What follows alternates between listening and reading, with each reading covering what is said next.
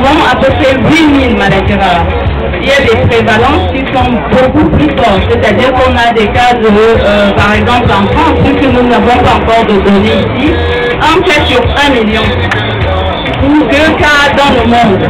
Mais il y a aussi des maladies comme la trisomie 21 qui va toucher un cas sur 500. Donc, les maladies rares, là, vous, vous comprenez bien que euh, on est là, on est surtout là aussi dans des maladies génétiques.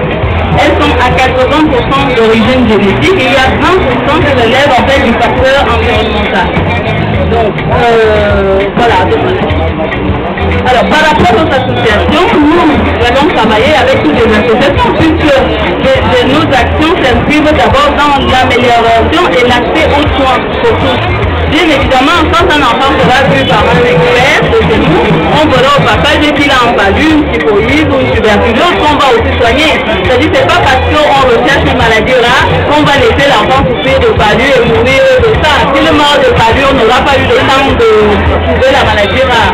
Donc nos actions s'inscrivent dans l'amélioration et l'accès aux soins de manière générale, mais nous allons apporter l'exercice aux médecins de manière à ce qu'ils puissent aller chercher plus loin parce qu'il n'y a pas que le, le qui donne la fièvre, il y a beaucoup